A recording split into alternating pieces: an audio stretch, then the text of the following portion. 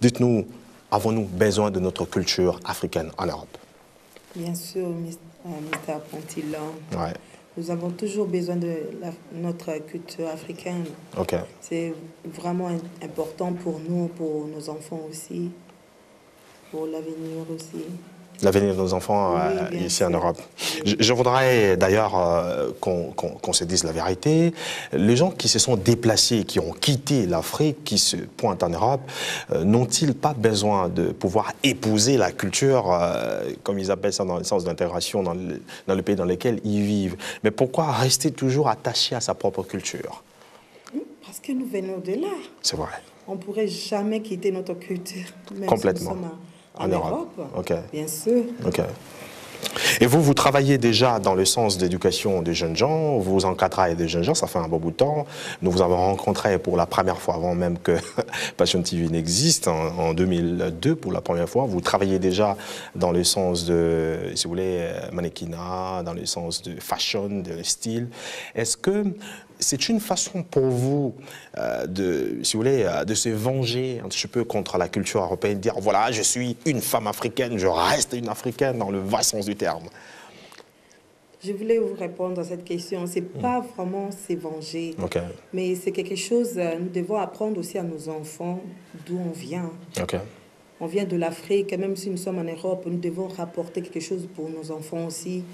Parce y a d'autres enfants qui ne connaissent même pas comment l'Afrique elle est. ok, C'est pour cela qu'on voulait rapporter l'éducation, euh, la nourriture, tout qu'on sort. qui la façon de vivre. La façon de euh, vivre yeah. aussi, comment nous, nous étions en Afrique. En Afrique, voilà. D'ailleurs, euh, il faut que nous rentrions, quand on parle de la culture, c'est un ensemble des éléments euh, d'une identité d'un peuple, il faudra dire comme ça. Et nous allons, pour permettre à nos amis qui nous regardent, euh, aider, as I was saying, to- we're not going to say something in English until we finish what we're talking uh, about right now about culture. We're going to start in French and then we'll see what we can do in English later on.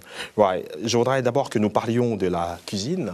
Est-ce que la, la cuisine africaine, euh, elle est aujourd'hui nécessaire Europe Vous qui êtes mère des enfants, est-ce que il vous arrive d'utiliser cette culture? Enfin, La nourriture, bien sûr. ouais. Je prépare pour mes enfants aussi la, la nourriture congolaise. Africaine Africaine, bien Ouais, sûr. Je prépare à la maison parce que je sais bien que quand ils sont à l'école, ils utilisent la nourriture européenne. Ok. Mais C'est pour cela je, elles peuvent jamais manquer Mm.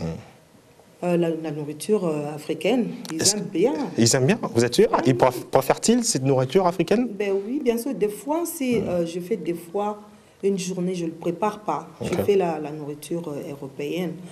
Et le lendemain, ils me demandent et je dois faire la, la, la nourriture euh, africaine. Ils aiment beaucoup, ils aiment beaucoup mieux. Oui. Donc vous préparez quel genre de nourriture Euh, Vous préparez donc, euh, les pondous. vous appelez ça les pondous et quoi les encore.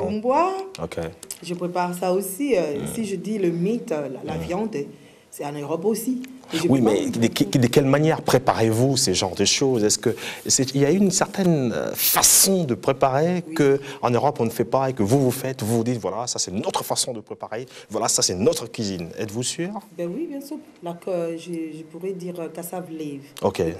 Voilà. On prépare avec le, le huile de palme. Ok. Si on prépare avec de l'huile de palme, là, Ok. Mm. ils aiment bien. Le, si, surtout le goût, là. Le goût de l'huile de palme Voilà. Ok, mm. Mais ici, on trouve en Europe, si je prépare quelque chose comme le pondou, là, pour un blanc... euh, C'est bizarre. C'est bizarre. Ok, ils trouvent ça Avec, bizarre. euh, oui, ils trouvent ça bizarre, mais avec nos enfants, ils aiment bien. Ils adorent. Oui, ils adorent vraiment. Ils adorent. Voilà.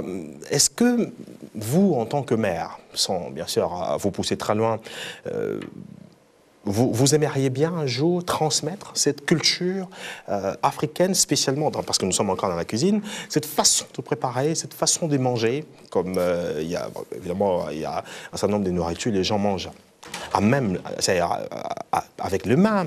Est-ce que vous allez transmettre cette culture, cette culture, la façon de préparer? Façon de préparer, bien vos sûr, enfants. mais surtout à la main, là, Ouais. dire. C'est super. Oui, ça fait un peu raisonner l'Afrique. Les gens vrai. mangent à la main. Oui, ok. Avec nos enfants, bien sûr, on, on doit les donner ça aussi. C'est nécessaire. C'est vraiment nécessaire parce que je ne l'ai jamais donné à mes enfants. Pas encore Pas encore, mais Vous je allez le faire mieux le donner encore. Ok, Leur donner le goût de manger avec des mains oui, Euh, Ils vont sentir la nourriture, comme non S'ils mangent à la main, ils vont trouver un peu bizarre, mais je crois bien qu'on doit vraiment lui donner. On doit donner vraiment aux enfants. J'ai essayé une fois de manger à la main, ils me regardaient comme si j'étais sale. on trouve que c'est la culture. Mais vous avez quand même lavé les mains, vous leur avez dit qu'il ben faut laver d'abord les mains avant de manger. oui, bien sûr. Euh, ils n'en revenaient pas, ils se disent, ma maman, elle, est, elle a perdu le sens, elle a, elle a pété les plombs, comme on dit. C'est très bien. Voilà, donc euh, nous en profitons pour dire à nos amis qui nous regardent, vous êtes bien sûr nulle part ailleurs dans Passion TV. Et l'émission est intitulée ce soir, bien sûr, La culture africaine, dont des impacts, donc l'impact, bien sûr, de la culture africaine en Europe. Je voudrais rappeler à nos amis qui nous ont envoyé des mails et qui nous avons reçus aussi euh, quelques proverbes, euh, bien sûr, des proverbes venant d'Afrique, des proverbes venant, venant, bien sûr, de partout. Entre autres, je voudrais dire ceci, par exemple, une langue insolente est une mauvaise arme. C'est un proverbe qui vient du Sénégal en Wolof.